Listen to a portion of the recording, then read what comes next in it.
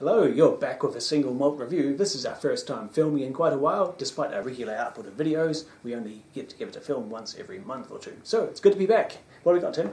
Yes, we have. We thought um, we'll sluice out the cobwebs because we haven't been here for a little while, as Dave said. We've had, oh, we've had extra lockdowns, we've had all sorts of things getting in the way, but no longer, no longer. We are reconvening once more. So I thought we'll freshen up with something not too complicated, and not too complicated is definitely the theme of this bottling.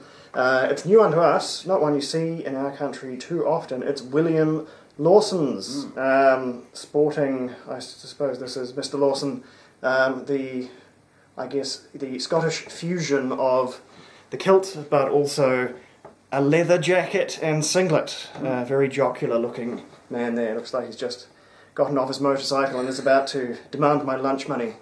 So, um, and it is, of course, blended Scotch whisky, and um, emphasis, I think, on the blended, as Dave's about to discover here. This is not a um, not shooting for a very high malt content. It's Blended by whom and why? Well, um, this took me having to read the fine print, but this is actually a Dewar's jobby.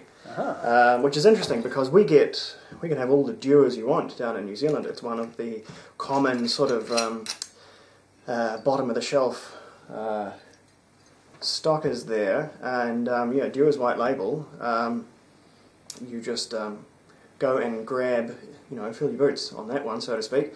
Uh, this one, not so much, um, but a very, very similar whiskey, as we will, as we will see. So. Um, we'll jump straight in here.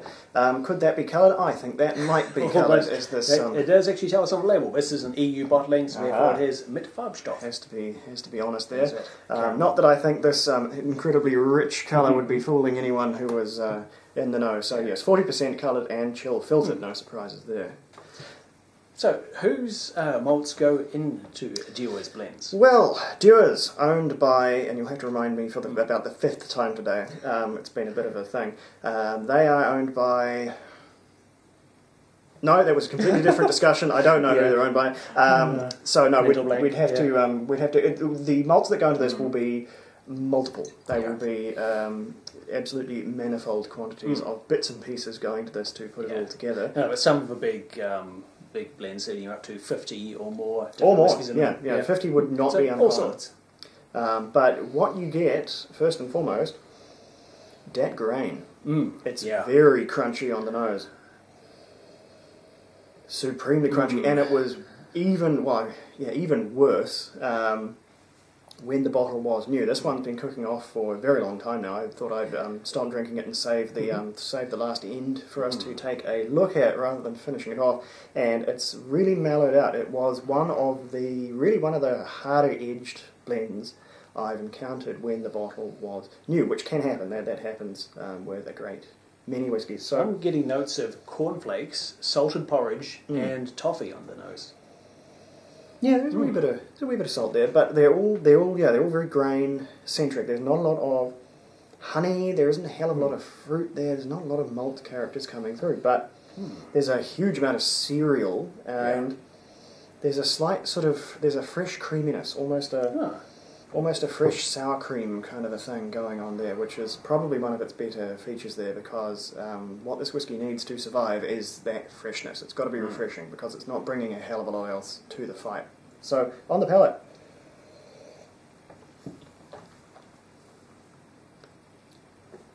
Oh wow, that is that is a lot of young grain. Yeah, it's pretty raw and pretty bland Yeah. as well. Um, it's fairly jaggy as well. It's pretty hot, peppery. Yeah.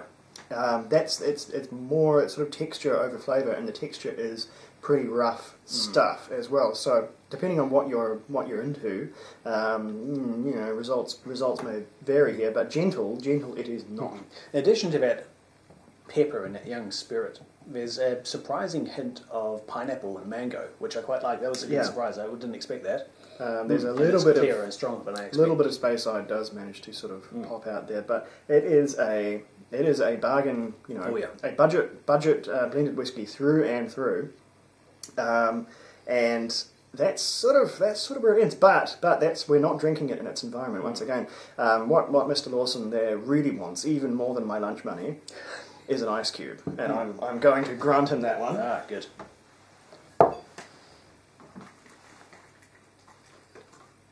As I prepared earlier, this this I think is the whiskey's true, true environment here. Big old ice cube, tumbler, and a warm summer's day, and suddenly it smashes into that freshness, Ah. amplifies it, and really, really takes it places in the.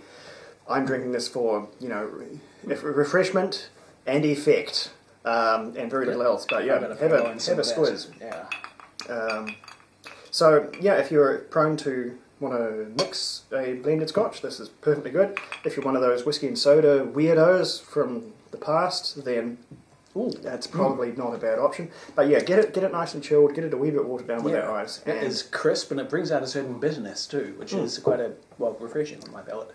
Yeah, this this is definitely how you want it um, because suddenly that that bite sort of blends in with that freshness, and it's a good thing all of a sudden. It is pretty bitter. Um, you could almost not that it tastes similar flavour wise, but you could put this in the Negroni category of this is a strong spirit mix, and it has a real real bite in the mouth. It's sort of a it's a arresting bitter flavour, and so that judging on those terms, I think it's pretty good.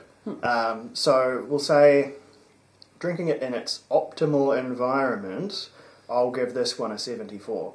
It would be well into the 60s, possibly the low 60s, was I living in a cruel world which forced me to drink it straight and warm forever. but um, it, not not outside of that sort of regime, um, we'll say this is a this is an inner tumbler with ice score. But yeah, 74 from me, not Cool. bad. And for me, this is an unashamedly, unabashedly, unpretentiously grain forward young blended whiskey. It has all the weaknesses you'd expect from that, but you know what you're getting, and what you're getting has, yeah, it's got some qualities, it's got some things that stand out, it takes ice nicely, I'm sure it blends nicely, mixes rather, and that nets it a 68 from me. Hmm. Yeah, yeah. So yeah, good stuff. A good one, I think, to us to us to um to boot up on, get those, flush out the dust, um, get the joints working, and um, if nothing else, yeah, it has quite a humorous label. So, um, you know, I always like a if I can lampoon a label, then I will, and I'll do it. So yes, so that that's Mr. Lawson's finest there. Um, goodness, doesn't he just look? Oh, Louis, okay, you what, mate? Yeah, rough rough individual. All right, all right, that's us. Um, we're really getting into it now. So something a bit more um, interesting just around the corner. And if you were watching, it wasn't a rum. That was an old video. Fooled you all. There's no rum at all this week. So, Slàinte, gotcha.